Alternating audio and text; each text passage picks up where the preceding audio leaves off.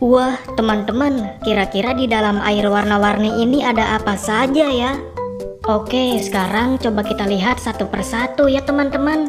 Nah, yang pertama coba kita ambil nih apa yang ada di dalam air yang berwarna kuning.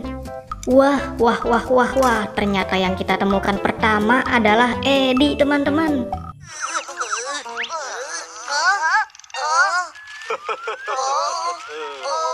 Wow, dia lucu sekali ya. Oke, langsung saja kita taruh di sini ya teman-teman. Nah, sekarang coba kita ambil apa yang ada di dalam air yang berwarna hijau nih teman-teman. Wah, ini kira-kira apa ya? Kira-kira siapa ini ya teman-teman? Wow, ternyata ini adalah bis Rogi, bis yang berwarna hijau.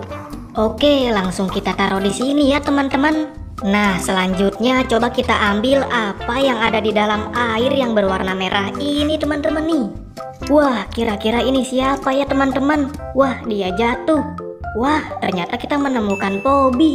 Widih, widih, widih, mantul, mantul, mantul. Oke, sekarang coba kita lanjutkan lagi yuk teman-teman. Nah, sekarang coba kita ambil apa yang ada di dalam air yang berwarna hitam. Wah, ini siapa ya teman-teman? Ya benar, ini adalah Tayo. Wow, bis Tayo, bis yang berwarna biru ya teman-teman. Oke, sekarang coba kita lanjutkan lagi yuk. Sekarang coba kita ambil apa yang ada di dalam air yang berwarna ungu. Wadidaw, wow, ternyata yang ada di dalam air yang berwarna ungu ada peti teman-teman. Wah, dia lucu sekali ya teman-teman. Nah, sekarang coba kita lanjutkan pencarian kita lagi yuk. Nah, kira-kira apa nih yang ada di dalam air yang berwarna hijau? Hmm, kira-kira ini siapa ya teman-teman? Dia berwarna hijau. Wah, ternyata kita menemukan krong nih teman-teman. Wow, ini krong ya. Oke, langsung kita taruh di sini ya teman-teman.